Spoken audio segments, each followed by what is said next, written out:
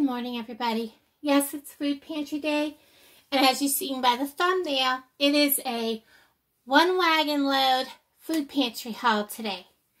Um, and if you don't watch Kelly's Place, um, she's also noticed that her blessing box is a little lighter than normal, and I need to remember to stop and breathe. Um, and even though our food pantry is really generous, um, they're also noticing a huge drop in donations, donated foods, that kind of thing.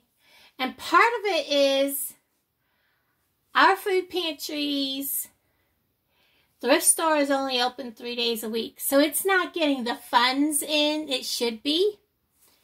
And part of it is that people are just not donating food. They're holding back their food. They're they're saving their food. They're stockpiling. They're instead of putting food, buying extra food and donating it, they're putting it in their cupboards for when things happen. And I can't blame them because we all need to be doing that. So everybody, um, man, if you can get yourself a little freezer, guys, somehow get yourself, even with them little bitty freezers at Walmart, that's like $150. Keep an eye out for one, you know, especially right now at the college kids time, you know, get a little freezer, please, because we really need to be um, putting food up putting up um, fresh vegetables, um, freezing them, doing everything we can to, um, and, and bananas, you know, you can freeze a banana. You can cut it up and freeze it. You can take it out of the peels, cut it in half and freeze it. It's good for quite a while in the freezer, for like six months. You can freeze eggs. You can um, whole eggs, crack it in in a plate, however many you think you need at a time. Like put two in, put three in, um, and freeze them like that um, in each in a Ziploc bag, and then double freeze them, or double baggy them. Um, there's so many things you can do while the food is readily available to help yourself. If you freeze eggs, Look up how to freeze them safely. And when you do freeze them, like some of the cake mixes and things like that that you may want to use them in, takes two eggs, takes three eggs, that kind of thing. So that's how you want to freeze them. If you're a family and you want to fry up eggs, make sure you bag them up however you use them. and that kind of thing. Um, cooking up meats so that they're done, like cooking up hamburger ahead of time, making hamburger patties, freezing them, you know, so they're just take them out, thaw them, use them, heat them on the stove or in the oven, that kind of thing. Everything you can do to save money, save time, um, be self-sufficient. Um, I'm always blessed with everything I get as you can see in my food pantry um, where I showed it. Um, this is going on both of my vlog channel and my regular channel. I'll link my, um, where I've got stuff stocked in my food pantry. I'll link that in the comment section below. So if you haven't seen that, you can. So let's get into this and show you what I got this month, okay? So I'm going to start with these this big box of soda crackers. Now, it looks like they're in like this foil package. I'm not opening these. It says they're 16 foil fresh packs. So that's really cool because I open crackers and they, they go to waste on me. So those will go in my cupboard and be put aside. I also got some Rice Krispies. This is a good time of the year to have those. Um, and then cornflakes. And I have gotten abundance of cornflakes lately. So I will share those at the community building. This is my toiletry bag. Um, paper towels, always great to have. Toilet paper. It looks like I got four rolls of toilet paper. And then I also got, this looks like natural bug repellent, so it won't have DEET. So if my lungs ever heal from getting um, bug repellent sprayed, I was out and they were spraying a park with bug uh, pesticides and I ended up getting some breathed in. If they heal from it, I'm good to go again. But man, guys, DEET is bad stuff apricot hand soap. I was about out of hand soap, so this is really good to get. And I love the smell of apricot, so that's awesome. And then we have, um, this one's just with aloe. It doesn't say it has a scent. It says it has scent theory. Hmm. But I've had this before and it doesn't have a scent, so that's okay. But, you know, that's cool. I can put one in my kitchen sink, one in my bathroom sink. Then we have, ooh, look at those nail clippers, guys. Woohoo! Cute. And then we get Pro Enamel toothpaste. A couple little bottles of Aveeno Skin Relief Moisturizing. And then one, two, three, of these packets of shampoo and conditioning, a conditioner with tea tree oil. Those are nice to have for camping, traveling, that kind of thing. I'm going to put these away. I'll be right back. And the other thing they do, they always have these grab totes where you can take whatever you want. They had a lot of totes of feminine products. Now, if you noticed in my my cupboard, even though I don't use them, I have feminine products, and there's a reason. And I'll go into that in a, a video they have this, um, and I smelled it. It's Jennifer Aniston, and it's actually, I had a heck of a time getting the cover off this earlier. It's actually really kind of nice. It has like a, like a musk scent, more like what a man would wear, but softer. It's really kind of nice. I liked it. Um, and a lot of medicines, but there were two gals up ahead of me that pretty much cleaned out any of the cold medicines. Um, I'm not sure, but anyways, we won't discuss it. so, I have frozen meats here. We have a sliced cooked ham. This is good. Um, mine from last month. It was it was really good. I used the whole thing. Um, I like getting this sandwiches, um, ham. You buy the the gravy um, packets, and you turn around. You make uh, like sandwiches, hot beef sandwich kind of thing, or you just have it on rice with noodles, that kind of thing. Potatoes makes really good meals, guys. A package of ground beef from the Chicago Meat House. And then, of course, we have our frozen egg product.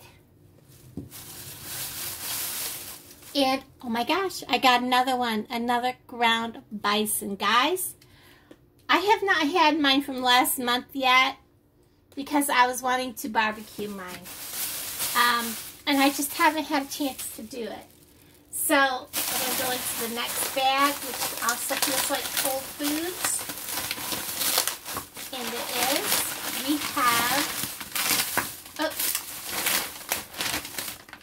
that came off there. It is fully cooked pork patties with soy protein product. So they're, they're, they're sausage patties, but not all meat, is what they're saying. Some Bar S hot dogs, some ground turkey, and another um, ground beef from the Chicago Meat House. get rid of that plastic bag. And uh, we have in this some Cheetos white cheddar bites. They look good. So snack food that direction. And then we have some pasta bella rotelli. I like these noodles. And these are the big fat ones. See the size of those? That's noodles. And then we have some cheeseburger macaroni. I like this stuff. This is awesome. I like getting that. Makes a nice meal, and I usually have a little bit of leftover. And we have some ranch, uh, sesame, uh, not sesame, um, sunflower seeds. Read the package, Laura. Read the package. Snack that. Okay, then we have over here, of course, I got some um, eggs. I got two dozens. I always test my eggs because they get them in big, big case slots. And you want to always test your eggs from them and uh, do the water test and um, check them first. Then we have some of the Pure Leaf Green Mint, Green Tea with Mint. This is really good tea. It's in the little bags. Really good tea, guys. Um, or at least I think so. Then we have organic rice broccoli. Probably use that in something. I like broccoli anyways. Somebody texted me. I'll look in a minute. This is um, beef round roast, boneless. It's all like iced over, but nice piece of meat. Oh, I'm to pause you a second. Alright, and then I have some um, peaches, and there's one, two, three, four, five of these total, which is really good because I've been doing a thing, which I'll fill y'all in in a while. And then I got a can of fruit mix.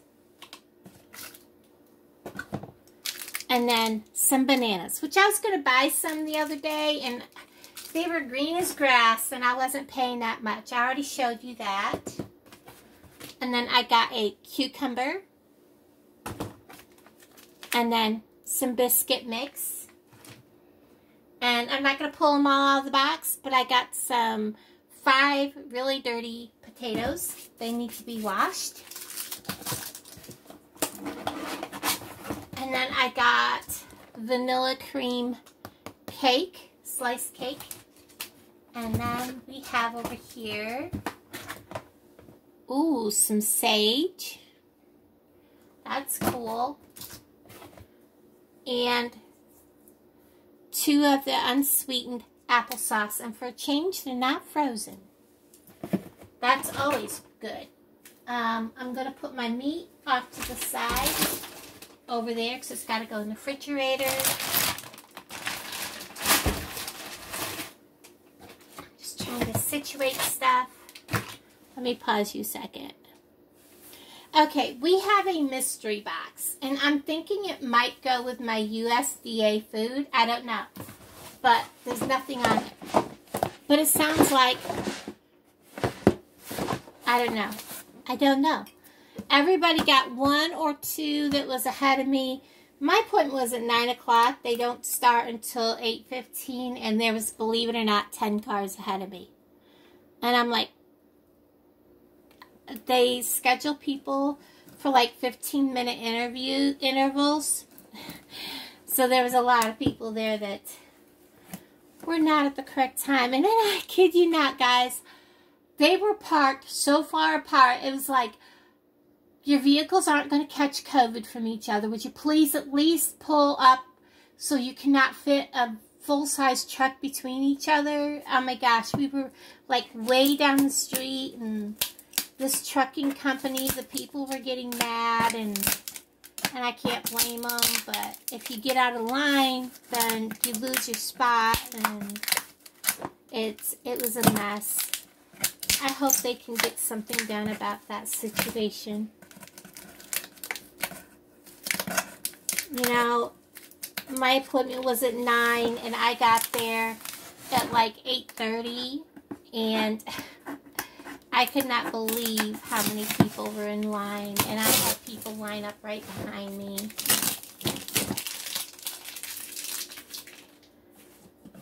Okay. Let's see what's in our mystery box. And Not griping, I'm just saying, because people are like, oh, you're, you're bitching. Well, you know, when your appointment is at such a time and we have to wait in line along a street, common sense says please come when you're supposed to or close to it and not whenever you please because it makes it difficult. So this looks like it is from the USDA Harvesters Program. This is chicken barbecue chicken burrito bowls. Is everything actually in here? No. No, it's not. I don't see any burritos in here, unless it's in a bag.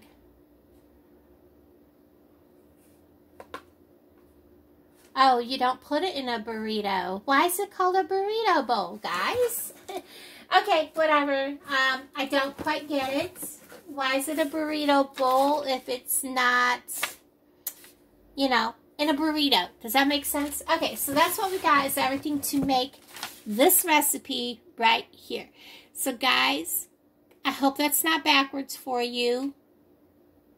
Um, I'll put the ingredients below. So we have the brown rice instant, natural whole grain. We have a, oh, sweet baby Ray's, my favorite, barbecue sauce. We have a huge can of chicken breast. We have a can of whole kernel corn. We have um, this looks like mandarin, or oh, it is mandarin oranges. Some black beans. I like black beans on, in rice. And then we have some pear slices. So let's just take a look at this really quick and see what the recipe says. Four cups of brown rice according to instructions. Large skillet over medium-high heat. Add canola oil, chicken, barbecue sauce, beans, and corn. Stir to combine. Um, cook until hot. Serve warm over cooked rice and serve. Well, where does the corn come in? Oh, the corn comes in there. Beans, corn, and chicken. Gotcha. And then there is the ingredients. I'm sorry, I didn't realize it was on two pages, guys. So there you go. I'll put everything in down below. I'm going to set that aside. Now I know what that is. Then we got some of the um, American cheese, and it's going to be yellow American. And bakery mix. All-purpose dried egg mix. Creamy peanut butter. Grape jelly. I'm partial to my homemade dandelion jelly. Sweet and smoky chipotle pinto beans. Spaghetti with meatballs. Yep, it does say meatballs. Afterwards, I was like, is it? Um, mixed vegetables. A second can. Oh, these are beef raviolis. And then we have some whole kernel corn and two of the uh, granola bars, fruit and nut. Alright, I have one more box. Hold on. Okay, we got a sweet treat. It is a glazed donut from Walmart. We got a huge bag of mild cheddar cheese. This will have to be divided and put in the freezer. we got a box of macaroni and cheese, a box of spaghetti, a, is it one pound? Yep, one pound of butter, which I love getting butter for baking. We have some chili no beans and beef stew. So that's what those two are. Oops. Then in the box we have black beans. I've been getting a lot of black beans. Vine ripe sauce, which if you guys get the sauce and you think it's a little too tomatoey, add a little bit of sugar to your sauce. Another can of sauce. It will help cut the, the, the bite of the tomato. Um, sliced potatoes. Um, apricot halves. Pears. Pinto beans. It's getting to be chili season, guys. Applesauce. And, of course, a big old can of beef and trash. We have some little boxes of Sun-Maid raisins. Oh, we got some figs. Instant potatoes. Cream of chicken soup in a box. And then we have some um, I believe they're navy beans. No, pinto beans. Why was I calling them navy beans? One bean in my mind and one bean came out of my head, mouth. Dried cranberries. Hazelnuts. Dried roasted almonds. And plums. I love plums. How many people like plums?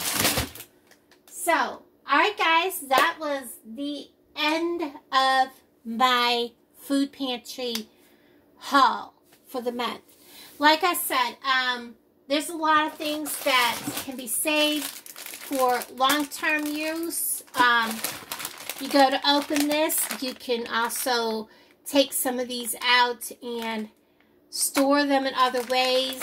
Um, Tupperware is your friend, guys. I know people are like, Tupperware.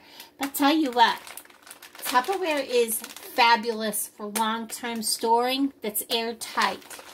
When you can take a Tupperware with a sealed lid, put it in water and wash it and your flour and sugar doesn't get wet, it's not going to let air into your food.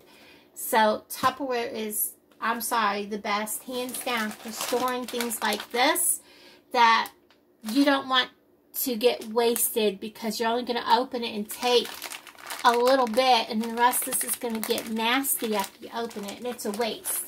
So go to yard sales. Look for Tupperware. If you want to clean it, Dawn with like Comet, make a paste, clean the inside with a scouring, you know, sponge.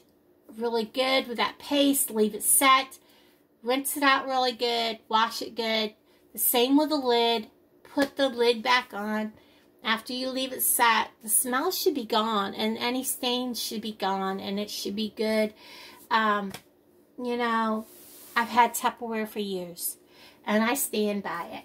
So everybody, thank you so much for um, hanging out with me. Um, I really appreciate each and every one of you. Thank you so much for watching this video, whether you watch it on my new channel, my vlog channel, or if you watch it on my um, Haunted Ramblings. Either way, take care. Have a most blessed day, and get out there and have some fun. I'll talk to all of you guys in the comments down below. Bye, guys.